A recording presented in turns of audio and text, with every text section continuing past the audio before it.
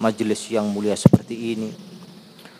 Sesepuh-sesepuh masyarakat, para hadirin, hadirat, bapak-bapak dan ibu-ibu yang dirahmati oleh Allah Subhanahu wa taala. Alhamdulillah wa syukrulillah pada malam hari ini kita sama-sama dikumpulkan oleh Allah Subhanahu wa taala di dalam satu majelis yang penuh dengan limpahan taufik dan hidayah dari Allah Subhanahu wa taala. Kita gunakan dengan sebaik-baiknya kita hadir dalam majelis yang mulia ini untuk sama-sama menambah ketakwaan kita kepada Allah. Menambah keimanan kita kepada Allah Subhanahu wa taala dan menambah rasa cinta kita kerinduan kita kepada Habibullah Sayyidina Muhammad Rasulullah sallallahu alaihi wa alihi wa sahbihi wasallam. Kita semuanya hadir di sini niatan pengen apa? Pengen kita diridhoi oleh Allah. Pengen kita diridhoi oleh Rasulullah sallallahu alaihi wa alihi wa sahbihi wasallam. Hadirnya pian barataan di sini membuktikan kalau pian barataan sangatlah cinta kepada Nabi Muhammad sallallahu alaihi wasallam. Kalau sudah seseorang cinta dengan Rasulullah, maka sudah jelas dia akan cinta dengan Allah Subhanahu wa taala. Dan kita semua yang hadir di sini telah membuktikan bahwasanya diri kita ini benar-benar cinta kepada Allah. Benar-benar cinta kepada Rasulullah sallallahu alaihi wa alihi wasallam. Mudah-mudahan Rasa cinta kita ini menjadikan kita nantinya di hari kiamat masuk surga dengan syafaat Nabi Muhammad sallallahu alaihi wasallam dan kita masuk dalam surga dalam keadaan berkumpul bersama Rasulullah sallallahu alaihi wasallam. Amin amin ya rabbal alamin. Di dalam hadis Nabi disebutkan tentang seseorang itu akan dikumpulkan dengan yang ia cintai yuhsyarul mar'u ma'aman ahab. Seseorang akan dikumpulkan dengan yang ia cintai. Kita cinta Rasulullah, maka suatu saat pian akan dikumpulkan oleh Allah bersama Nabi Muhammad sallallahu alaihi wasallam.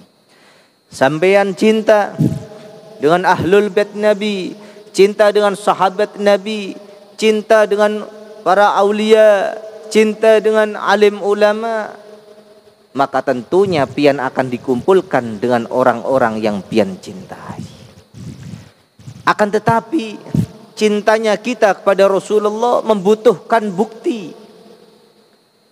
Di dalam perkataan kita cinta, di dalam perbuatan kita cinta kepada Rasulullah, di dalam hati juga kita harus ada rasa cinta yang luar biasa kepada Nabi Muhammad sallallahu alaihi wa alihi wa sahbihi wasallam.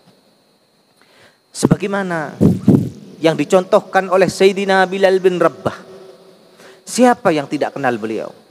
Beliau adalah sahabat Nabi, beliau adalah muazzinnya Rasulullah sallallahu alaihi wa alihi wasallam yang penuh dengan rasa cinta yang luar biasa kepada Rasulullah didasari dengan imannya kepada Allah dan Rasulnya. Yang kita tahu Sayyidina Bilal bin Rabbah begitu cinta dengan Rasulullah. Bahkan tatkala wafatnya Rasulullah sallallahu alaihi wasallam membuat beliau itu sering menangis. Sehingga yang asalnya beliau tinggal di kota suci Madinah, maka beliau pun sering teringat dengan Rasulullah. Dia lihat sudut-sudut kota Madinah mengingatkan kepada Rasulullah. Dia lihat masjid, ingat Nabi Muhammad. Dia jumpa dengan sahabat Nabi, ingat Rasulullah.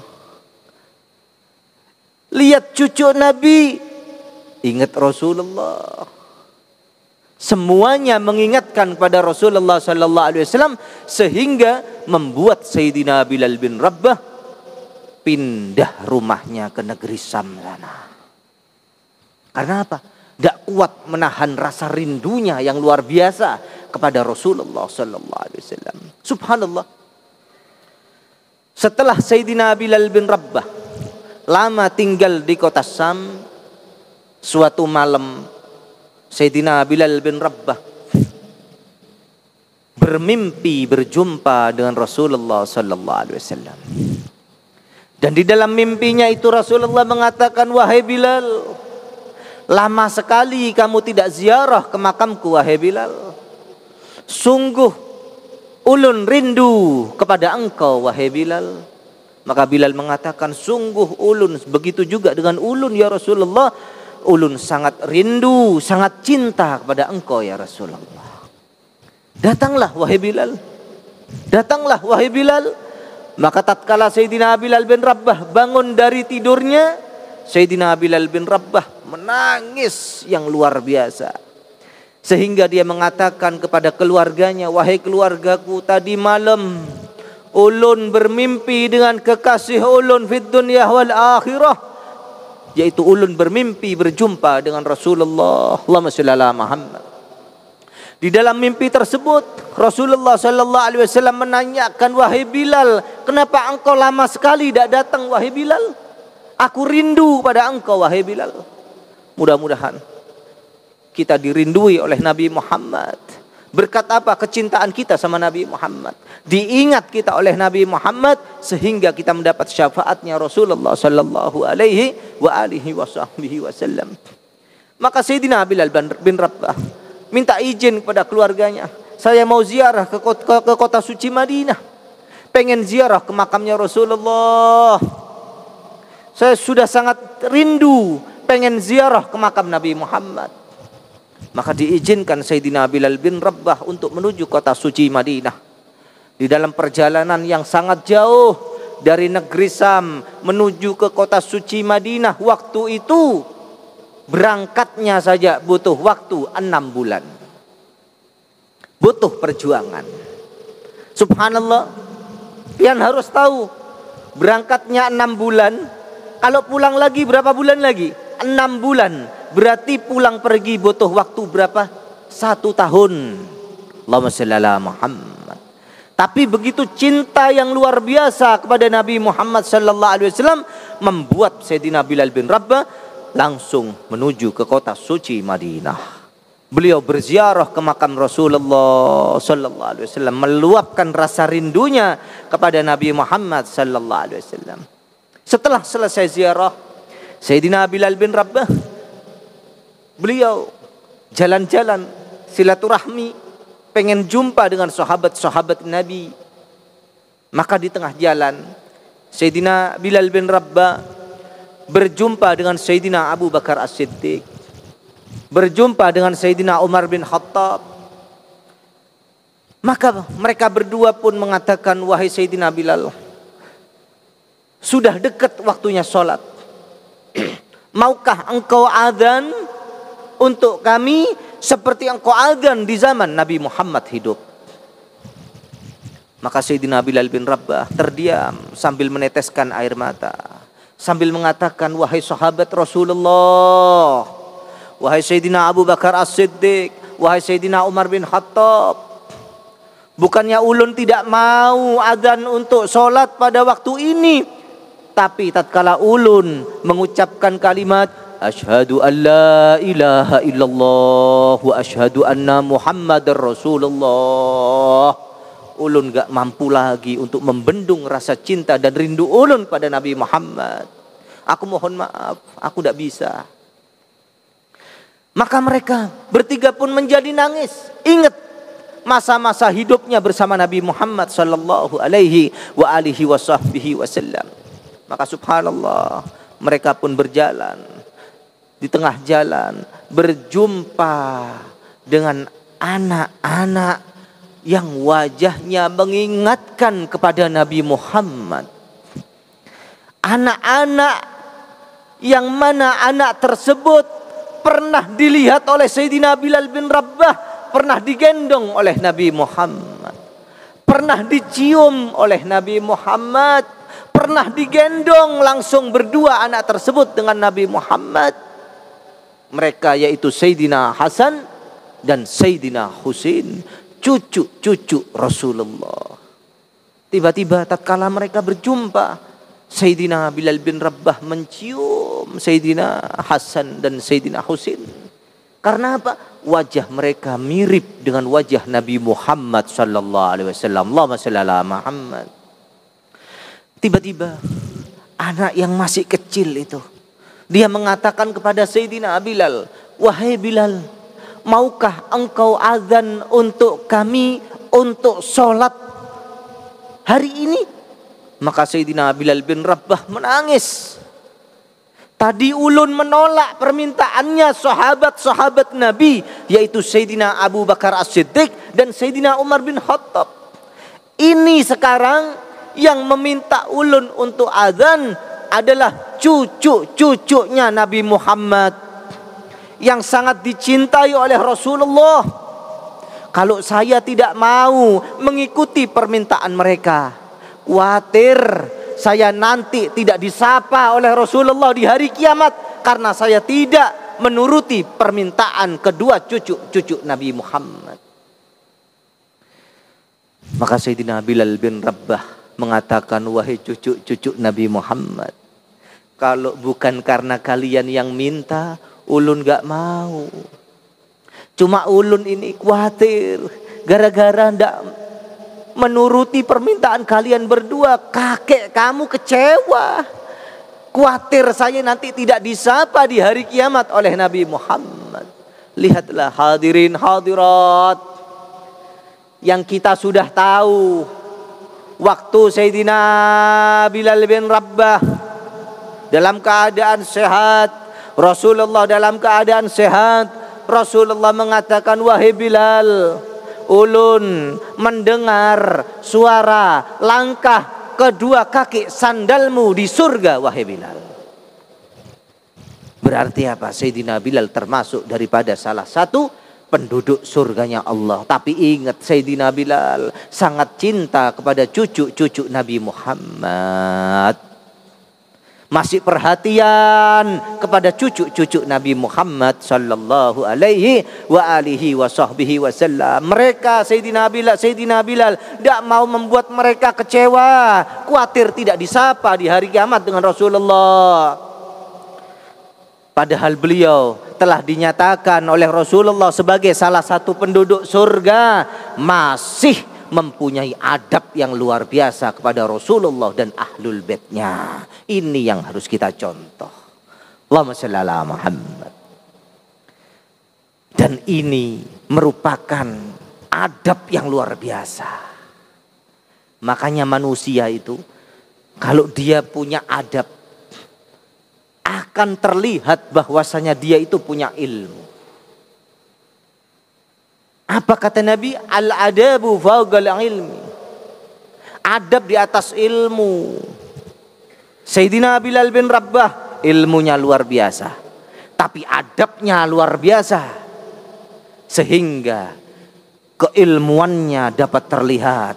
Adabnya terlihat. Sehingga kita tahu sejarah riwayat-riwayat Sayyidina Bilal bin Rabbah hidup oh ternyata beliau orangnya ilmunya luar biasa dibarengi dengan adab-adab yang mulia. Mudah-mudahan kita dapat mencontoh akhlak Nabi Muhammad sallallahu alaihi wa alihi wasahbihi wasallam dikatakan dalam hadis khairun nas ahsanuhum khuluqa. Paling baiknya manusia adalah yang paling baik atau yang paling bagus budi pekertinya. Untuk itu kita contoh bagaimana adab Nabi Muhammad. Bagaimana budi pekertinya Rasulullah sallallahu alaihi wasallam kalau sudah kita contoh maka kita menjadi manusia-manusia yang mulia. Karena apa? Orang lakiankah, perempuankah kalau dia punya adabnya Rasulullah diangkat derajatnya oleh Allah. Orang cinta Rasulullah orang dekat dengan Rasulullah, orang punya hubungan dengan Nabi Muhammad menjadi mulia. Dicintai oleh Allah, dekat dengan Nabi Muhammad sallallahu alaihi wa alihi wa wasallam. Kita kalau membaca bagaimana riwayat hidupnya Rasulullah yang dipenuhi dengan adab-adab yang agung. Di dalam Al-Quran dijelaskan wa innaka la'ala khuluqin azim. Disebut Rasulullah oleh Allah adalah mempunyai akhlak yang agung, akhlak yang mulia. Jadi kalau kita pengen menjadi mulia, maka contohlah budi pekertinya Rasulullah sallallahu alaihi wa alihi wa sahbihi wasallam. Allahumma shalli Muhammad. Kita harus tahu bagaimanakah akhlak Nabi Muhammad. Bagaimanakah sifat Nabi Muhammad? Bagaimanakah sikap Nabi Muhammad sallallahu alaihi wasallam? Bagaimanakah akhlak beliau? Ada satu riwayat. satu ketika tatkala Rasulullah sallallahu alaihi wasallam pertama kali diangkat jadi nabi dan rasul, banyak yang cinta, banyak yang membenci. Subhanallah. Ada seorang nenek yang sudah tua, belum pernah lihat Nabi Muhammad karena bencinya luar biasa sama Rasulullah. Satu ketika, ini tentang adabnya Rasulullah. Satu ketika, Rasulullah Wasallam berjalan, enak-enak berjalan, Rasulullah lewat di situ nenek yang membawa kayu bakar melihat orang tua dalam keadaan kesusahan membawa kayu bakar. Rasulullah mengatakan, wahai nenek. Neneknya tidak tahu kalau itu Rasulullah. Wahai nenek, maukah ulun membawakan kayu bakar anda? Oh, pemuda yang baik ini. Belum pernah saya lihat pemuda yang baik seperti ini. Maka Rasulullah pun membawakan kayu bakar tersebut. Sang nenek diantarkan ke rumah. Setelah nyampe di depan pintu rumah sang nenek, Rasulullah mengatakan, "Wahai nenek, kayu bakar ulun taruh sini." "Wahai nenek, ulun mau pamit." "Silakan, pemuda, kamu baik sekali. Belum pernah saya bertemu dan berjumpa dengan laki-laki pemuda yang tampan dan baik seperti kamu." Maka si nenek pun mau masuk ke dalam pintu rumahnya. Rasulullah sudah menghadap mau ke arah balik. Tiba-tiba si nenek di dalam hatinya mengatakan, "Oh, indahnya akhlak orang ini. Adabnya bagus, sopan santunnya bagus, baik sama orang tua, adabnya bagus sama orang tua. Ulun harus tahu namanya orang ini." Padahal si nenek ini adalah orang yang yang tidak senang sama Nabi. Bahkan di jalan, di tengah jalan, Rasulullah membawakan kayu. Si nenek berkata sama Rasulullah, "Hei pemuda." Tidak tahu kalau itu Rasulullah. "Hei pemuda, kamu hati-hati ya. Kalau ketemu Rasulullah Muhammad bin Abdullah sallallahu alaihi wasallam, kamu hati-hati. Hati-hati disihir kamu. Bisa masuk agama Islam kamu." Oh, gitu kah? Tersenyum Rasulullah. Hingga sampai Rasulullah Wasallam nyampe di rumah sang nenek, sang nenek mau masuk dalam rumahnya, si nenek mengatakan, "Wahai pemuda, jangan pulang dulu. Ulun pengen tahu siapa nama kamu." Maka Rasulullah menjawab, "Muhammad bin Abdullah." Betapa kagetnya itu si nenek mendengar Rasulullah mengatakan Muhammad bin Abdullah. Si nenek yang penasaran, khawatir salah dengar. Si nenek mengatakan, "Wahai pemuda, tolong ulangi siapa nama kamu." Muhammad bin Abdullah. Maka menetes air mata si nenek. Melihat keindahan akhlak Nabi Muhammad, si nenek mengatakan, "Ya Rasulullah, ya Muhammad." Pada detik yang lalu ulun itu benci sama kamu. Tapi detik ini ulun jatuh cinta sama engkau ya Muhammad. Berkat apa? Budi pekerti kamu yang indahnya luar biasa. Ternyata tidak sama dengan yang dikabarkan oleh orang-orang tidak sama setelah ulun berjumpa dengan engkau ya Muhammad. Engkau indahnya luar biasa. Engkau tampannya luar biasa. Engkau harumnya luar biasa. Engkau adabnya sopan santunnya luar biasa. Baiknya luar biasa ya Muhammad. Saksikan asyhadu alla ilaha illallah wa ashhadu anna Muhammadar Rasulullah. Lihatlah. Masuk Islam gara-gara apa? Keindahan akhlak Nabi Muhammad sallallahu alaihi wa alihi wa sahbihi wasallam. Allahumma salli ala Muhammad. Setelah kita tahu bagaimana cara mencintai Rasulullah, setelah kita tahu bagaimana adabnya Rasulullah sallallahu alaihi wa alihi wasallam, maka kita harus tahu juga bahwasanya Rasulullah sallallahu alaihi wasallam diutus ke dunia ini untuk rahmatan lil alamin. Wa ma arsalnaka illa rahmatan lil alamin. Diutus Nabi Muhammad untuk rahmat rahmatan lil alamin, rahmat bagi seluruh alam semesta. Jadi beruntung kita menjadi umat Nabi Muhammad. Kita punya ayah ibu umat Nabi Muhammad, kakek nenek umat Nabi Muhammad sallallahu alaihi wasallam dan beruntung kita bisa mengerjakan syariat-syariat Nabi Muhammad.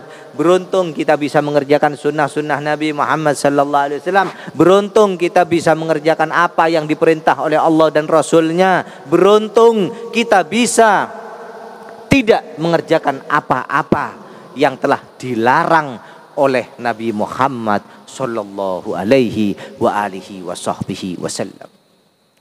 Kalau pian sudah merasakan bagaimana rahmatnya Nabi Muhammad, pian akan merasakan bahwasanya rasa nikmatnya jatuh cinta sama Nabi Muhammad sallallahu alaihi wasallam pasti akan pian rasakan. Semua dapat. Karena apa? Rahmatnya Rasulullah itu adalah rahmatnya Allah Subhanahu wa taala.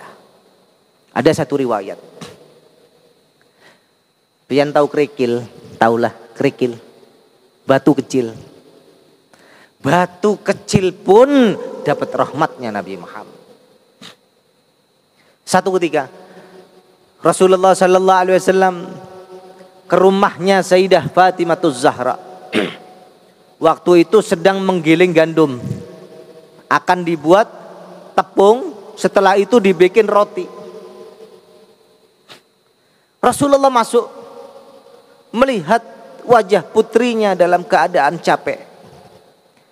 Maka Rasulullah mengatakan, "Wahai putriku, berhenti dulu istirahat."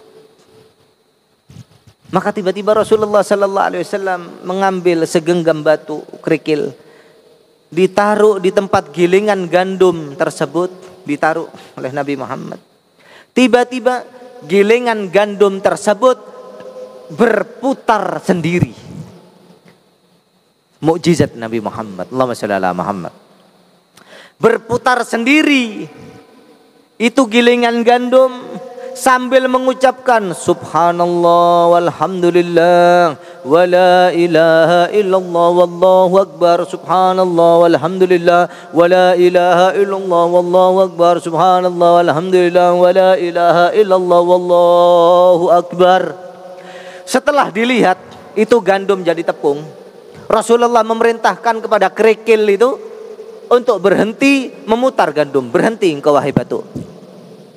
Maka si batu dengan mukjizatnya Nabi Muhammad, batu tersebut dapat berbicara. Sambil mengatakan, Ya Rasulullah, ulun gak akan berhenti sebelum engkau menjamin ulun. Duh, jaminan apa? Kata Rasulullah.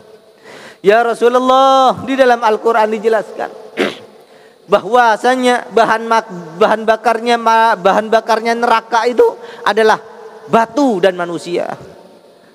Dan ulun ini kerikil termasuk batu. Ulun takut termasuk menjadi salah satu batu sebagai bahan bakarnya neraka. Apa kata Nabi Muhammad? Kamu tenang saja wahai batu kerikil. Engkau akan tinggal di dalam surganya Allah Subhanahu wa taala karena telah membantu putriku Fatimah Zahra Al-Batul. Allahumma sholli ala Muhammad. Lihatlah. Itu batu dapat rahmatnya Nabi Muhammad. Lalu bagaimana kita umat Nabi Muhammad yang iman sama Rasulullah, yang cinta sama Nabi Muhammad, yang ngerjakan syariat-syariat Nabi Muhammad sallallahu alaihi wa alihi wasallam, mudah-mudahan berkat kita cinta sama Nabi Muhammad, selamat kita fid dunya wal akhirah di dunia selamat, di alam barzah selamat, di hari kiamat selamat. dan mendapatkan syafaatnya Rasulullah sallallahu alaihi wasallam dan masuk surga bersama Nabi Muhammad sallallahu alaihi wasallam beserta orang-orang yang kita cintai kumpul sama abah kita kumpul sama mama kita, kumpul sama anak kita, kumpul sama anak cucu kita, kumpul sama teman-teman sahabat-sahabat kita di dalam surganya Allah Subhanahu wa taala. Untuk itu bujur-bujurlah kita di dalam perhatian kepada Nabi Muhammad sallallahu alaihi wasallam karena Rasulullah sangatlah perhatian kepada umatnya. Dipanggil kita selalu dipanggil oleh Nabi Muhammad sampai sampai Rasulullah mau meninggal dipanggil kita ummati ummati ummati bahkan dikatakan saking cintanya Rasulullah sama umatnya kalau seandainya salah satu daripada umat Nabi Muhammad jalan kakinya tertusuk duri, kakinya tertusuk paku, kakinya tertusuk e, kayu misalkan, yang pertama kali merasakan sakitnya yaitu Nabi Muhammad. Saking cintanya Nabi Muhammad sama umatnya, saking perhatiannya Rasulullah Shallallahu Alaihi Wasallam terhadap umatnya. Untuk itu mudah-mudahan kita semuanya dapat mendidik kepada keluarga kita, anak kita, istri kita. Mudah-mudahan tetap istiqomah di dalam jalannya Nabi Muhammad sallallahu alaihi wa alihi wasallam sesuai dengan Al-Qur'an, sesuai dengan sunnah-sunnah Nabi Muhammad صلى الله عليه وآله وصحبه وسلم. يا الله بها يا الله بها يا الله بحسن الخاتمة يا الله بها يا الله بها يا الله بحسن الخاتمة يا الله بها يا الله بها يا الله بحسن الخاتمة ربنا آتنا في الدنيا حسنة وفي الآخرة حسنة وقنا عذاب النار. وصلى الله على سيدنا محمد وعلى آله وصحبه وسلم. والحمد لله رب العالمين. إن شاء الله. Hanya itu yang ulun sampaikan. Kurang dan lebihnya ulun mohon maaf yang sebesar-besarnya. Wabillahi taufik wal hidayah. Wassalamualaikum warahmatullahi wabarakatuh